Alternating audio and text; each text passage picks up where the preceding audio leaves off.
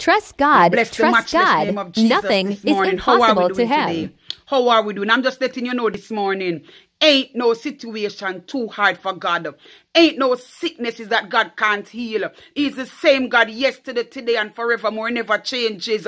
Hold on to Jesus this morning. You might feel like you want to give up, but I'm here to tell you don't give up. Don't give up. Hold on a little longer because ain't no struggles hard enough for God to deliver you from. Ain't no situation too deep. Ain't no issue too hard for God to mend. Hallelujah. Ain't no struggles.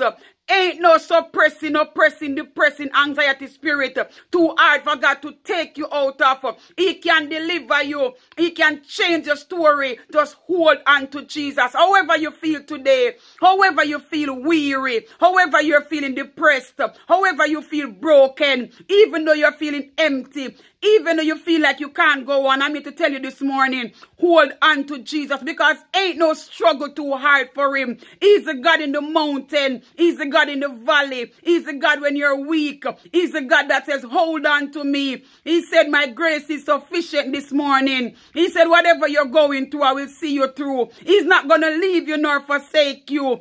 Ain't no situation too hard.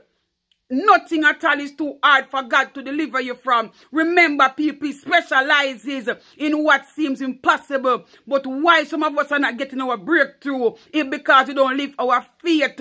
Faith as small as a mustard seed this morning. Just believe. Just believe that ain't no situation too hard.